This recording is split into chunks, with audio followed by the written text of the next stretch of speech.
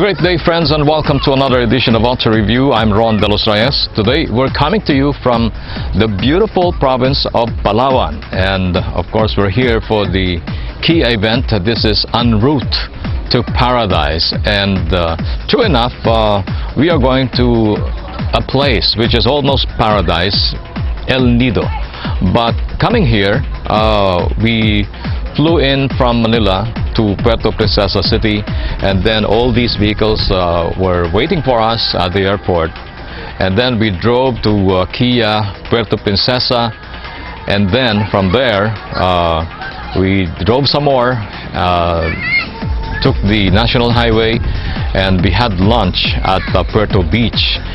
And uh, from Puerto Beach we had another change of vehicles until we uh, changed to uh, the Kia Carens. It's a beautiful drive uh, along the coastline of uh, Palawan. It took us about uh, four and a half hours to get here and, uh, and it was a pleasant and smooth drive using these vehicles. You have a beautiful lineup of Kia vehicles here. On my right is of course the Kia Sorento and then the Sportage, the new Kia Soul, the Carens and the Rio. This is en route to paradise and this reminds us of what Kia did uh, last year when we went to Batanes. Uh, it was called Kia True North and that event in 2013 was unprecedented as Kia brought 14 of their vehicles to that beautiful, another beautiful set of islands up north.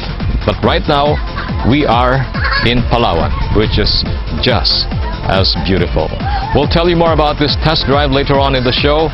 In the meantime, let's take a look at the latest in motoring on our Auto News Update.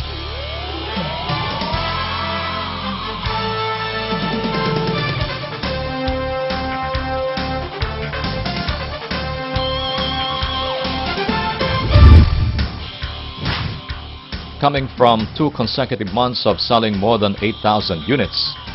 Toyota Motor Philippines shattered this sales barrier by recording 9,132 units in a single month last May. TMP sales grew by 47% compared to its performance last May 2013, representing continuous high demand for all its models. The Vios remains the best-selling vehicle in the country with recorded sales of 2,080 units, surpassing last month's 1,982 units. The newly launched mini hatchback Wigo sold 926 units, 18% higher versus the previous month of 634. The Fortuner also registered high sales growth from 1,473 units to 1,721 units sold with an increase of 47% versus the previous month. Also contributing to the growth of this sales milestone are the locally manufactured Innova, the all-new Corolla Altis, and the Hilux.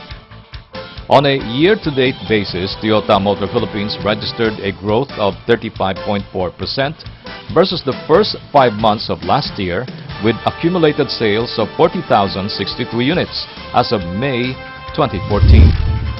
Pilipinas Taj Auto Group, the official distributor of Tata Motors in the country, invited Auto Review to visit their headquarters and showroom along Marcos Highway in Cainta, Rizal. The Indian auto brand, which is the first in the country, aims to create noise in the automotive industry after their launch at the 2014 Manila International Auto Show last April. Tata, said to be the maker of the world's cheapest car, recently launched four models the Manza sedan 1.4-liter manual, the Vista hatchback 1.4-liter, and two variants of the Xenon pickup truck, a 2.2-liter diesel 4x2 manual and 2.2-liter diesel 4x4. Pilipinas Taj Auto Group General Manager Nikki Mariano tells us more about Tata Motors' vision and plans this 2014. Our vision is quite straightforward. We want to offer the Philippine market uh, an affordable, durable vehicle, you know, that every Filipino like us aspire to have and to own.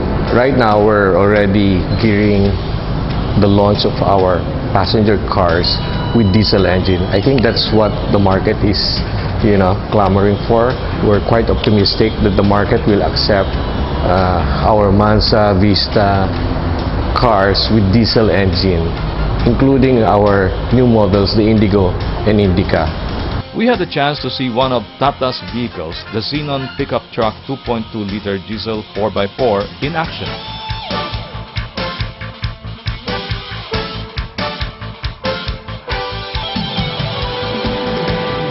The company is also set to launch another set of vehicles later this year. Meanwhile, three of their vehicles are available for viewing in their newly opened showrooms in Cainta and in Davao. There are also upcoming showrooms in Quezon City and Cagayan de Oro. I would like to invite all the televiewers of Auto Review to visit our showroom. Uh, it's located in Ortigas Extension, Cainta, also here in Marcos Highway, and we have one more provincial dealer in Davao.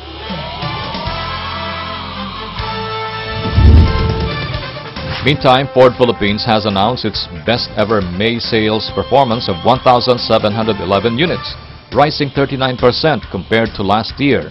This boost in sales is driven mostly by the all-new EcoSport, all-new Ranger, and the Everest. One of the top-selling nameplates in the Philippines, the Ranger saw sales rise 31% to 586 units last May. Ford's all-new EcoSport continues to attract customers in its second month of deliveries as it sold 452 units, making it one of the up-and-coming SUVs in the country.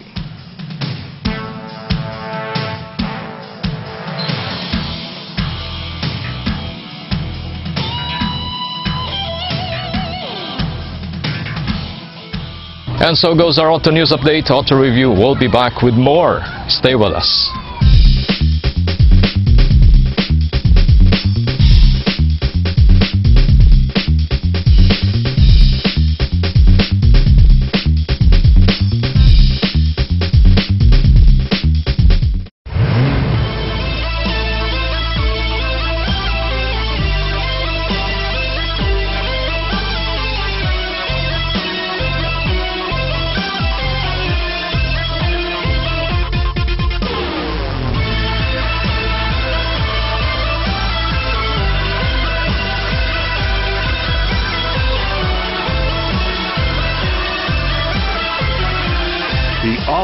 Isuzu D-Max.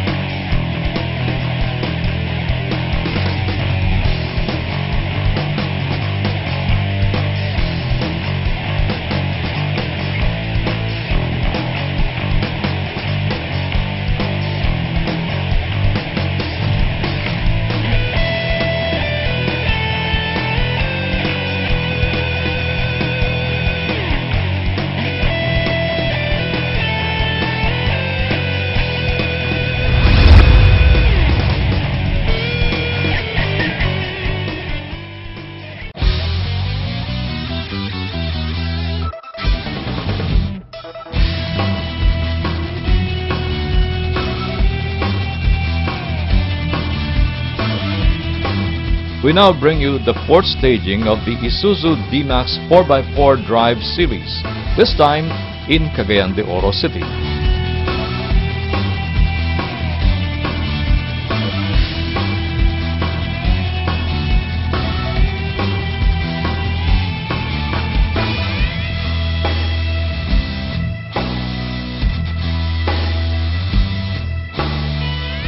The D-Max continuously proved its popularity in the country as the off-road activity consistently drew participants in the three previous editions in Pampanga, Cebu, and Bacolod.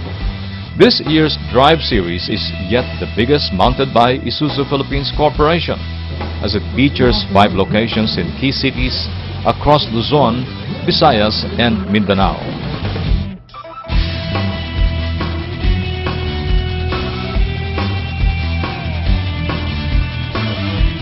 Cagayan de Oro, capital of Misamis Oriental, is also a highly urbanized center of commerce, earning for itself such titles like the Gateway to Northern Mindanao and the City of Golden Friendship.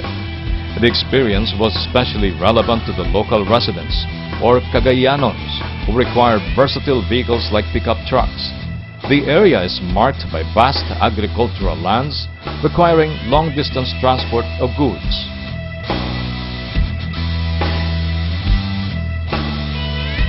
IPC President Nobuo Izumina noted that Cagayan de Oro has always been included in the event since it began. Every time uh, Cagayan de Oro uh, is including uh, this event uh, because the uh, people here in uh, Cagayan de Oro they are loyal to the, our product because the uh, Isuzu Cagayan de Oro, our dealer, uh, taking care of their customers very carefully. So that's why the, everyone joined the, Uh, event.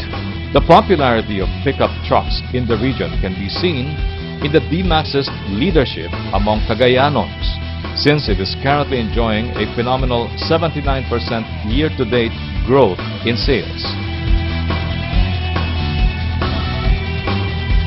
The CDO leg of the D-Max 4x4 Drive Series was held at the city's Pueblo Business Park at the back of SM City.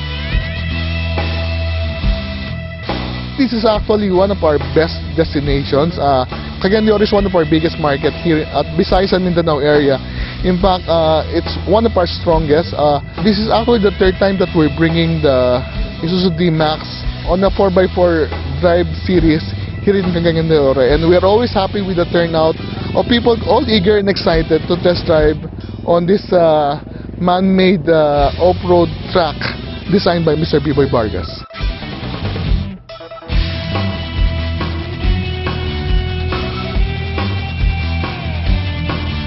As in other stagings, 13 stations marked the course that was designed to demonstrate the capabilities of D-Max's various off-road driving features. The obstacles included 40-degree hill climb done in first gear and in second gear, 40-degree hill climb with a stall midway up, 40-degree descent without braking, lateral climb mount, driving over elephant holes, tackling trail ruts, camber right and camber left sides up in 45 degree angles, traversing a roundabout cone, lateral descent ditch crossing, driving over cross-axle articulation rails, and going on a steel inclined plane with rollers. The exercises demonstrated the advantages offered by the four-wheel drive vehicles as well as allowed the participants to learn of the special driving skills required when traversing rough terrain.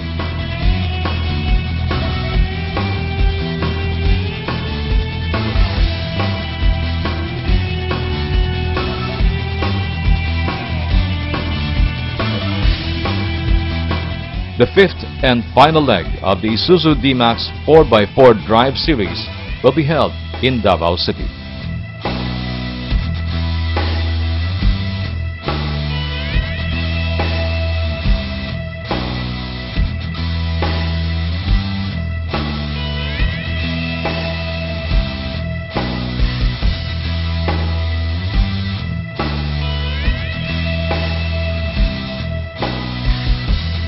Auto Review will be back with more exciting features. Stay with us.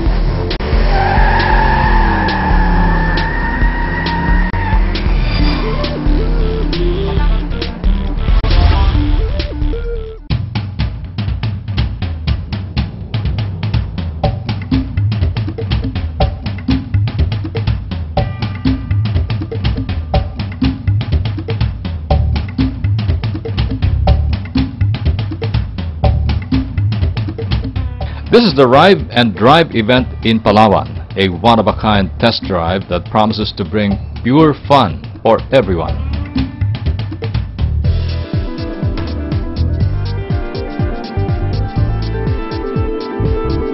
Columbian Autocar Corporation President Ginia Domingo welcomed us to the event. Thank you actually for um, accepting the invitation.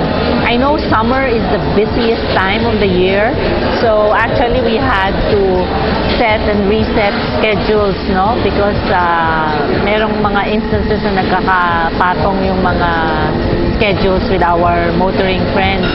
And um, it's quite heartwarming to know that all of those who were invited really made time to join us in this trip. So maraming salamat. First, the entourage flew in from Manila to Puerto Princesa City. From there, we had a brief stopover at Kia Palawan dealership before continuing our 300-kilometer journey towards Paradise. Sir, tell us more about uh, the dealership here in Palawan. Yeah, uh, the dealership here in Palawan is, I can say, the first full dealership of automotive in Palawan, in Puerto Princesa. Although we are in Palawan, we cannot say that we're on the province, but as you can see, our service shop, we have a complete line, state-of-the-art equipment to cater the needs of Kia cars.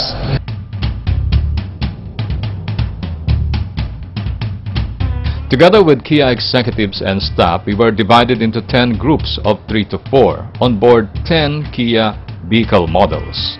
Our destination, the El Nido Paradise Cove Resort, nestled in one of Palawan's well-known beach towns.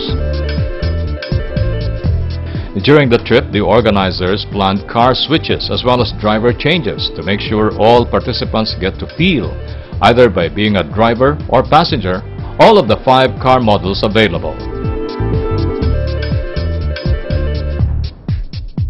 We're at day one, so uh, we have 25 media people trying to drive uh, five variants of uh, Kia cars. We have the Soul, the new Soul, the Sportage, the Sorento, the Carens, and the Rio. So we will try to let everyone drive and or ride in each uh, model by the time we finish this three-day journey. So we plan to be in El Nido by sunset and enjoy that beautiful view. Then tomorrow will be all water activities, island hopping, etc. And day three, we go back to Puerto Princesa and fly home.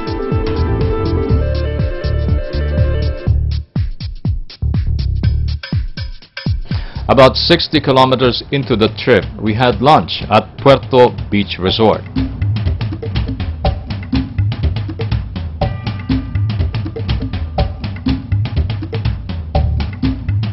Then we headed to the miles and miles of Palawan's smooth asphalt roads.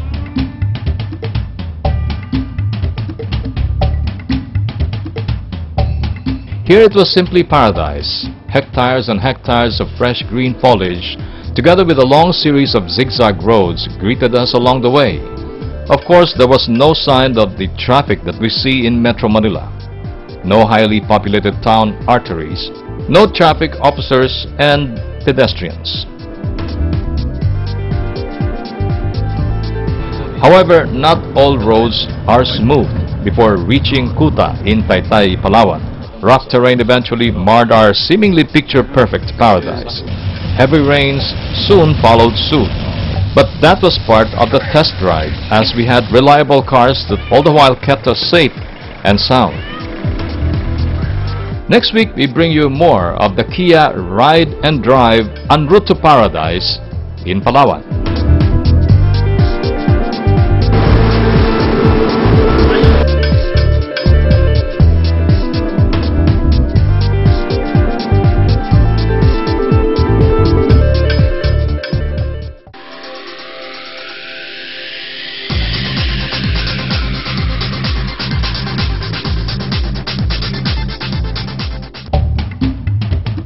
Here, the participants were able to ride and drive the all-new Corolla Altis, the Vios, Yaris, and Wigo.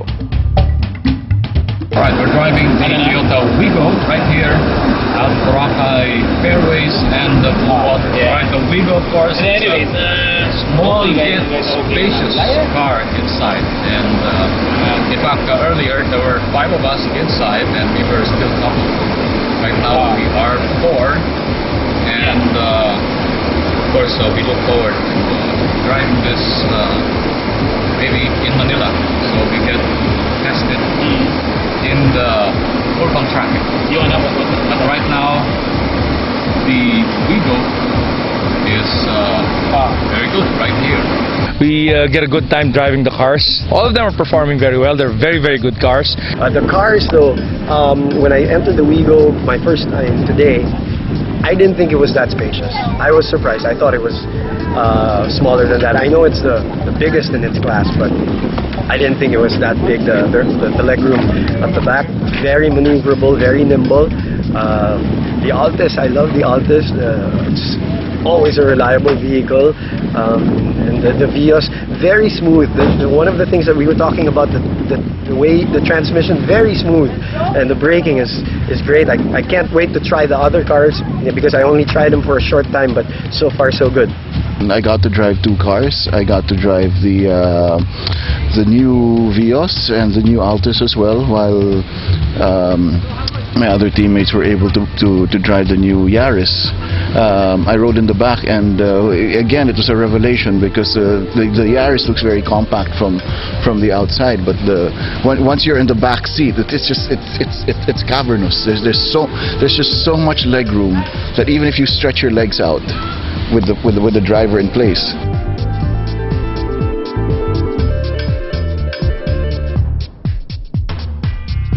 The fun, fellowship, and free-flowing food and drinks did not stop at sundown.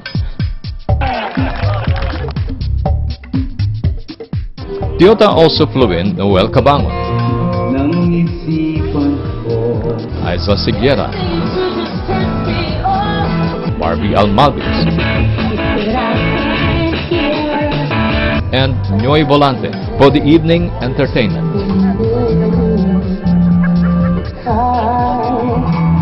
The winners for Road Trek 10 challenges were announced over dinner on day 2. The team led by STB's Butch Gamboa bagged the overall championship.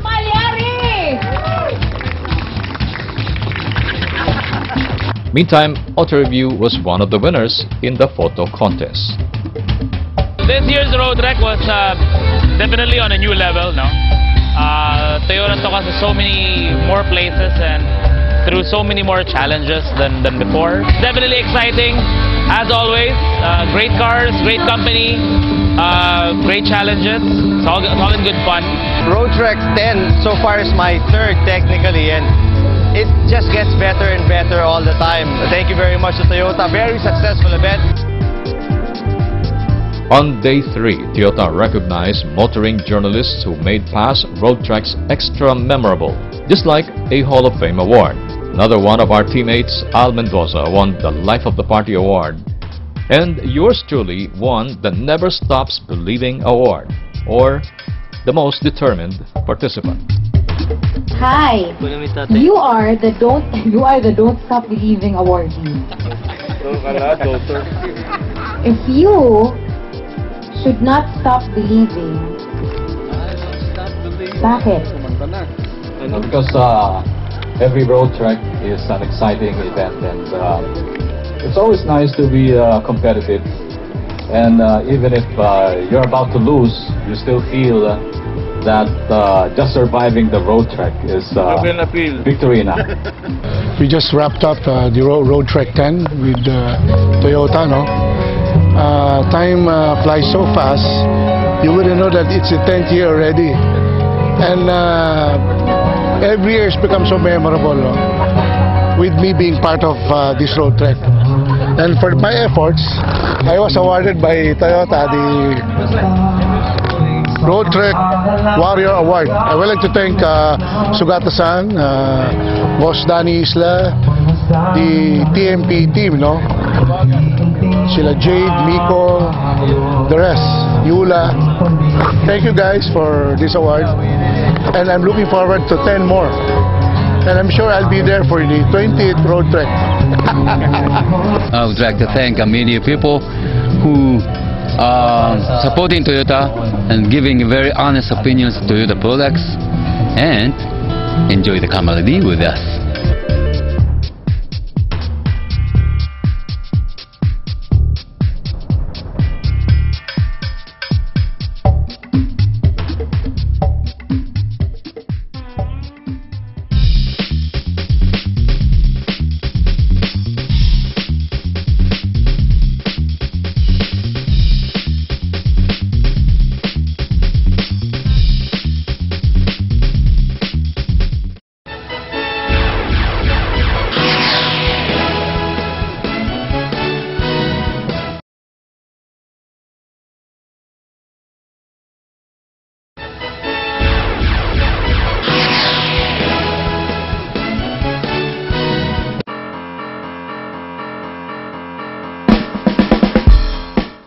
Let's know more about Kia.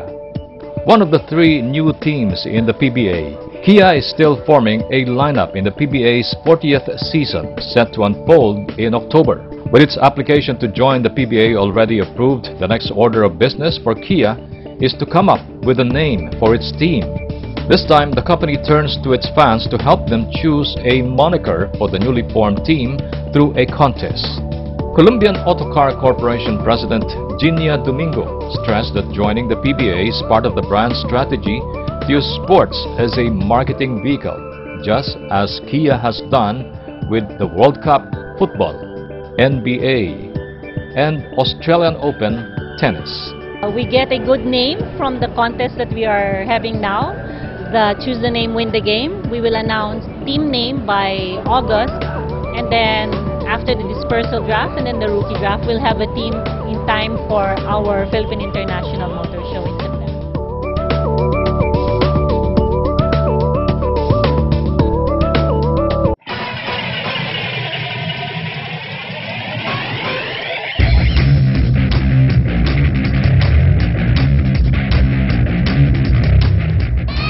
And that's our show for today. We hope you enjoyed it. We would like to thank Columbian Autocar Corporation, distributors of Kia vehicles in the country, for inviting us to their event called En route to Paradise, a media ride and drive in Palawan. Until next week at the same time here on Auto Review, this is Ron De Los Reyes saying thank you for joining us.